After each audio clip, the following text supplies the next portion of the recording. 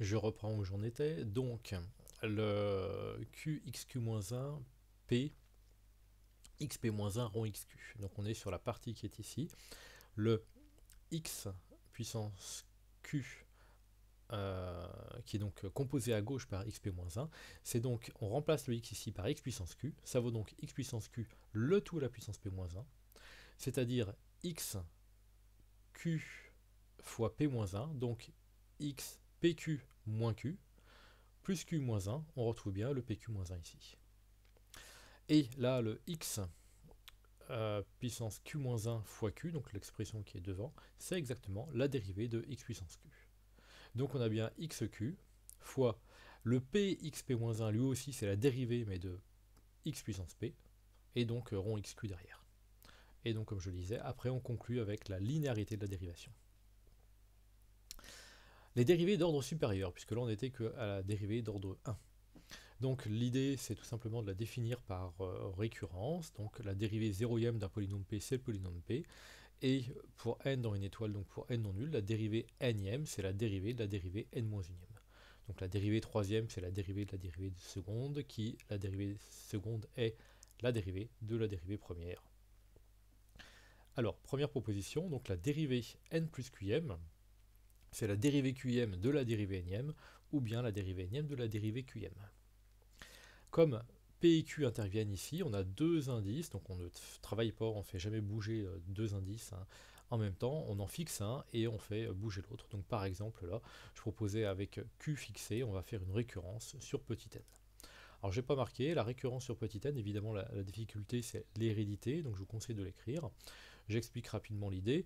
Donc euh, Q est fixé, donc si on passe à l'ordre n plus 1, on aura du P euh, dérivé n plus 1 plus Q ici. Et donc l'idée, c'est de se dire que euh, ça, eh bien, puisque c'est la même chose que P' dérivé n plus Q fois. Et donc on applique l'hypothèse de récurrence à P'. Donc on aura P' dérivé n fois le tout dérivé Q fois. P' dérivé n fois, c'est en fait P' dérivé n fois, mais euh, euh, pardon, c'est P dérivé une fois, redérivé une fois, et donc c'est-à-dire P dérivé n plus une fois. Ou bien pour passer ici à l'expression qui est là, euh, si c'est P' dérivé Q fois, c'est donc P dérivé Q fois dérivé encore une fois, donc c'est P dérivé Q fois, dérivé une fois et dérivé une fois, donc dérivé n plus une fois.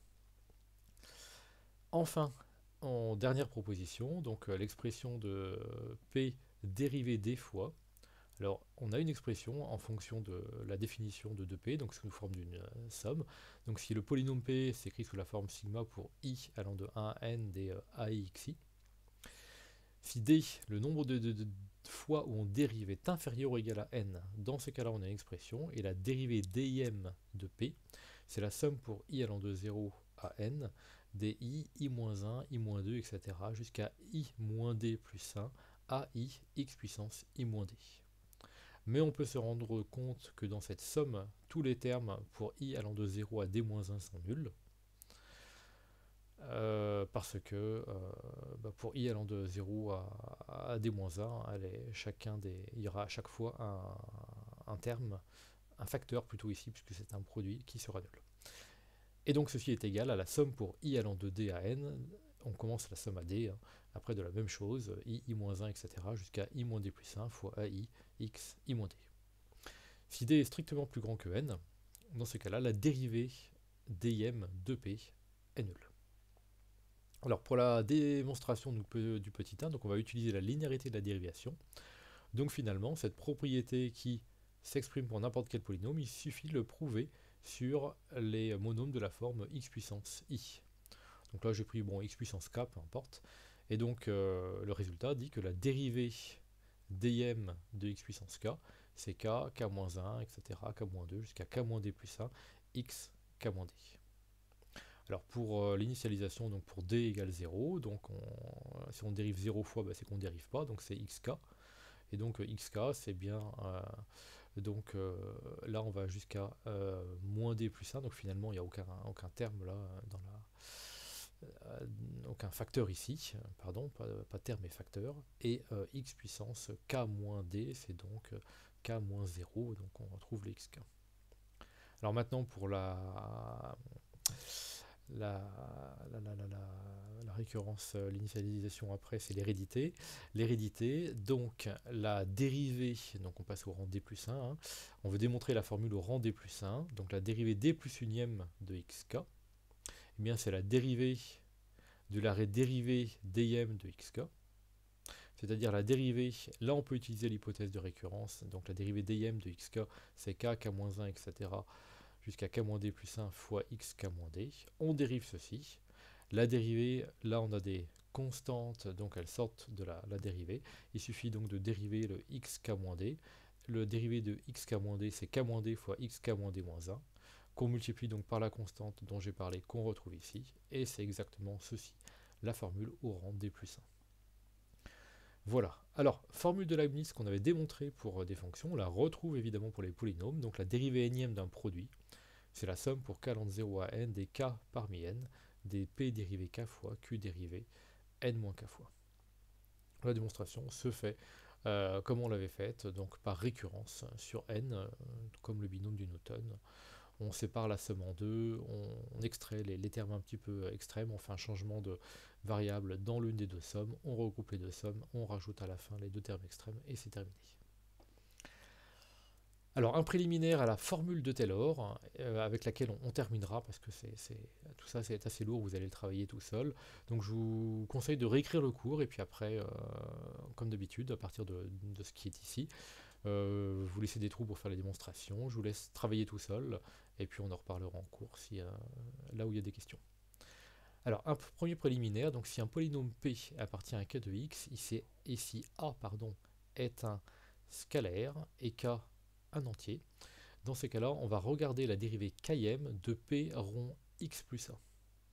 La dérivée km de p rond x plus a, c'est la dérivée km de p rond x plus a. Alors, ceci se démontre par récurrence, par récurrence sur k. Pour k égale 0, c'est évident, puisqu'on ne dérive pas ici, donc si on ne dérive pas, eh bien on retrouve p dérivé 0 fois qui est p, et donc euh, on ne dérive pas p rond x plus a, donc c'est p rond x plus a qu'on retrouve exactement à droite. Si la formule est vraie au rang k pour l'hérédité, donc pour la démontrer au rang k plus 1, on part de p rond x plus a dérivée k plus une fois. Donc la dérivée k plus unième, c'est la dérivée de la dérivée km. Donc on reprend l'expression de la dérivée km, on reprend l'égalité ici, et on dit que c'est sa dérivée formelle. Donc la dérivée de cette composée. La dérivée de cette composée, on sait dériver les composés, on l'a vu tout à l'heure. Donc c'est la dérivée du x plus a, x plus a prime, multiplié par la dérivée de la dérivée km de p, ici, rond x plus a. Le x plus a prime donne donc euh, tout simplement 1, donc il disparaît, et la dérivée, euh, la dérivée de la dérivée km de p, c'est la dérivée k plus unième de p. Donc finalement, il y a un 1 ici, euh, qui est issu de la dérivée là, et donc la dérivée k plus unième de p rond x plus 1 ce qui nous permet d'écrire la formule de Taylor, qui est donc une égalité chez les polynômes. Alors, cette formule de Taylor donc, permet d'avoir une expression d'un polynôme P en n'importe quelle valeur. C'est ça qui est euh, assez fort avec cette formule de, Taylor, donc c'est qu'on n'a à nouveau aucune hypothèse, hein. ça s'applique à n'importe quel polynôme, n'importe quelle valeur pour tout A de K, donc pour tout A réel par exemple, ou pour tout A complexe. On peut exprimer un polynôme P en fonction de quoi? Eh bien de sa valeur en A, de la valeur de la dérivée en A, etc. etc. Donc cette formule de Taylor, ce qu'elle a de très intéressant, c'est qu'elle donne une décomposition de n'importe quel polynôme comme une somme de monômes. Cette somme de monômes, ce sont des x moins a à la puissance k. Alors donc on a une somme de x moins a avec le, a, on peut prendre n'importe lequel. Donc de temps en temps, il faudra prendre un, a intéressant, évidemment, euh, l'appliquer au, nombre réel ou, complexe A qui est intéressant, et euh, euh, multiplié par des, constantes qui sont donc les dérivées km du polynôme en A et on divise par les factoriels K. Alors c'est parti, donc, euh, donc la somme, l'expression, donc un tout polynôme P s'écrit sous la forme de K égale 0 à n des x moins 1 puissance K sur factoriel K fois le, scalaire, donc qui est l'expression, l'évaluation. Alors j'ai pas mis de tilde ici, en fait on devrait mettre un tilde, hein, puisque ici c'est la dérivée km de P, mais qu'on évalue en A. Donc en fait, c'est euh, la fonction polynôme associée. Mais bon, euh, l'expression est, déjà assez lourde comme ça pour pas rajouter un tilde en plus. Et puis on avait vu qu'il y a une bijection entre l'ensemble des fonctions polynômes et l'ensemble des polynômes. Donc on ne va pas préciser euh, que c'est la fonction polynôme ici. On, triche un petit peu si vous voulez. comme il y a une bijection à nouveau, on va considérer que les objets du type fonction polynôme sont des objets polynômes. C'est pas très bien, mais tout le monde fait ça en fait par abus de langage. Alors la preuve, donc il y a une preuve assez euh, complète, ici un petit peu longue, donc on va considérer donc dn dans n carré avec d inférieur ou égal à n, et donc on a un polynôme quelconque donc qui s'écrit sous la forme donc la somme pour i allant de 0 à n des aixi, un polynôme de k crochet x. On va commencer par démontrer la formule pour a égale 0 et après on fera une translation. Donc pour a égale 0, c'est-à-dire qu'il faut démontrer que finalement un, polynôme p, vous voyez déjà c'est une valeur particulière de a, c'est donc la somme de k égale 0 à n des x puissance k sur factoriel k fois la dérivée km du polynôme en 0. Donc si k est compris entre 0 et d, si on dérive le polynôme p k fois la dérivée km de p, donc c'est la dérivée km de la somme des euh, AIXI. Donc c'est la somme des dérivés KM, donc d'après l'expression précédente, donc c'est la somme des I, I-1, etc., I-K plus 1 fois AI XI-K. Et euh, donc dans cette somme, on sait très bien que ceci est nul si i est très strictement inférieur à k, donc en fait on aurait pu éventuellement directement l'écrire sous la, comme une somme commençant à k, donc c'est la somme pour i allant de k à n des i, i-1, etc fois AI x i-k. Et c'est là où euh, il faut comprendre que euh, ce AI x i-k, euh, donc excluons le, AI de, la discussion, mais on veut l'évaluer en 0. Et donc quand on évalue ceci en 0, eh bien un polynôme qui est une puissance de x vaut presque toujours 0 en 0, alors je dis bien presque toujours, parce que sauf si le i-k est égal à 0. Si i-k est égal à 0, finalement, le x puissance 0, c'est 1, par définition.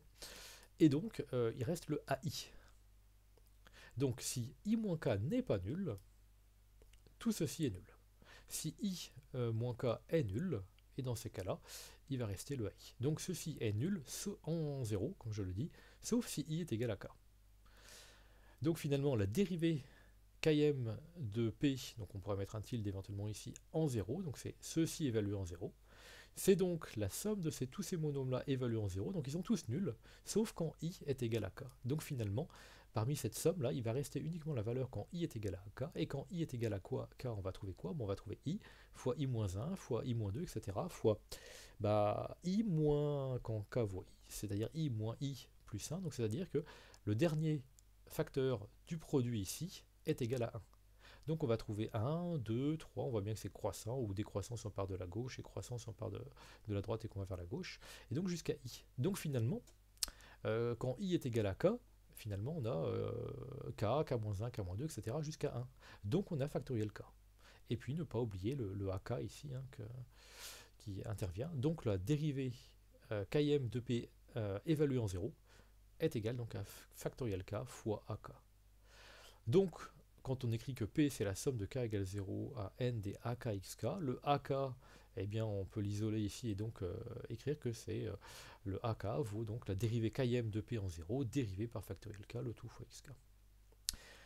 Maintenant, si A est non nul, eh bien on va appliquer le résultat par donc une sorte de translation si vous voulez, et donc cette translation s'effectue par une composition par x plus a, d'où l'intérêt du préliminaire qui est là-haut. Donc on y va. Donc on va considérer Q qui vaut P rond X plus 1. Euh, pourquoi je l'écris deux fois, je ne sais pas. Donc, si le polynôme P euh, s'écrit sous la forme sigma des AKXK, le polynôme Q qui est P rond X plus 1, donc s'écrit sous la forme sigma des AK, X plus A la puissance K. Maintenant, le polynôme Q, en appliquant le premier point au-dessus, on peut l'écrire sigma de k égale 0 à n des q dérivés km en 0 sur la factorielle q fois x puissance q. Et là-dedans, on va regarder ce que c'est que la dérivée km de q en 0. eh bien la dérivée km de q en 0, il faut déjà connaître la dérivée km de q, et justement c'est là où on utilise le préliminaire. La dérivée km de q, c'est la dérivée km de p rond x plus 1. Donc ceci à gauche évalue en 0, c'est donc euh, évalue en 0, et bien ça veut dire que ici le x donc euh, est évalué en 0, c'est-à-dire qu'il vaut 0. Donc c'est la dérivée km de p exprimée en a. J'aurais pu mettre une fois de plus un tilde ici, au-dessus. Donc la dérivée km de q en 0 est égale à la dérivée km de p en a, évaluée en a. Donc finalement, comme p est égal à q rond x moins a, alors si euh, ça c'est parce que q est égal à p rond x plus a, donc c'est une, on peut recomposer si vous voulez à droite l'égalité qui est ici, on la recompose par x moins a. x moins a rond x plus a, c'est l'identité, c'est le polynôme x, pardon. Euh, en tant que fonction c'est l'identité, mais en tant que polynôme c'est le polynôme x. Et donc q rond x a est égal à p rond x plus a rond x moins a, c'est-à-dire p. Donc finalement, on peut retrouver P à partir de Q. Si on retrouve P à partir de Q, le polynôme Q étant égal à ce qu'il est là-haut, le Q puissance, euh, enfin le Q dérivé km en 0, on le remplace, d'après l'égalité qui est là, par la dérivée km de P en A, ce qu'on retrouve ici.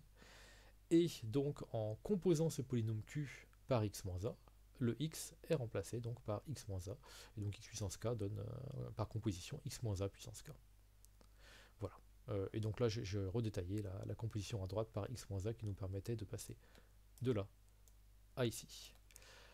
Voilà, je m'arrête ici, je pense que c'était assez chargé, puisque ensuite on attaquera, on, on parlera d'arithmétique de, des polynômes, et donc de divisibilité, etc., avec les polynômes.